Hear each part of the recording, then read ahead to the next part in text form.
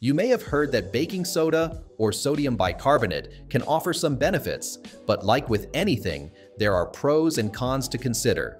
In this video, we'll break down how it works, the potential benefits, and the risks involved, so you can make an informed decision about whether it's right for you or a loved one.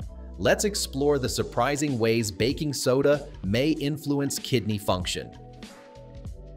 Firstly, we will talk about pros of baking soda for kidney health.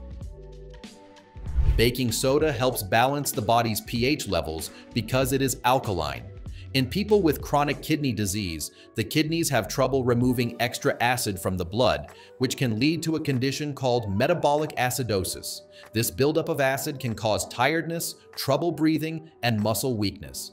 Baking soda can help reduce the acid by neutralizing it, which can take some pressure off the kidneys. It may also help improve kidney function and prevent long-term problems caused by metabolic acidosis. However, it's important to use it with a doctor's guidance, as using it incorrectly can cause harm.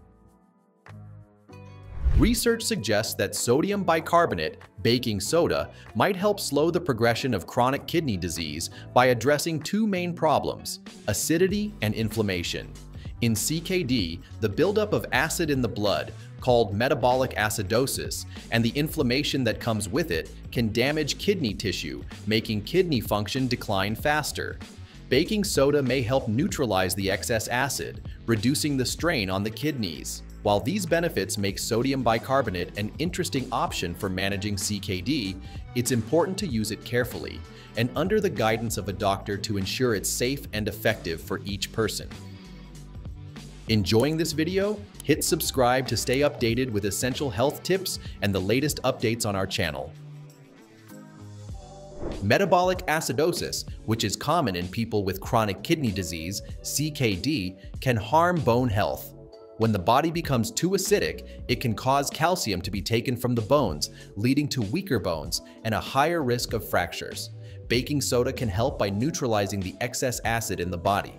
This can restore a more balanced pH level and may reduce calcium loss from the bones, helping to protect bone density in kidney patients. This is especially important for people with CKD, who are already at higher risk for bone problems due to kidney issues and other health complications. However, like with any treatment, it's important to use baking soda carefully and under a doctor's guidance to make sure it works as intended without causing other problems. Now we will talk about cons of baking soda for kidney health. One important thing to keep in mind when using baking soda for kidney health is that it has a lot of sodium.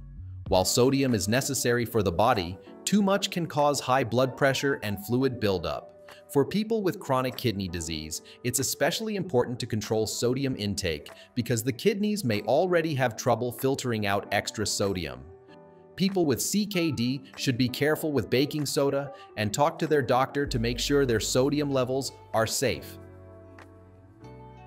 While baking soda can be helpful for kidney health, it's important to be aware of the risks, especially the possibility of metabolic alkalosis. If baking soda is overused, it can make the body too alkaline, which can lead to problems. When the body's pH gets too high, it can cause symptoms like nausea, muscle twitching, confusion, and even serious issues like heart arrhythmias or breathing problems. To avoid these risks, it's important to use baking soda in moderation and always under a doctor's supervision to make sure the body stays in a safe pH range.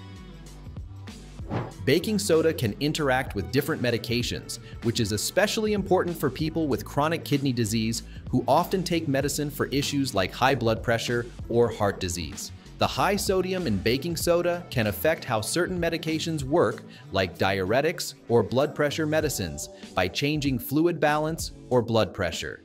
This could increase the risk of side effects, like swelling or higher blood pressure, which might worsen kidney function. Baking soda may also affect how other medications are absorbed or broken down in the body, leading to unpredictable results.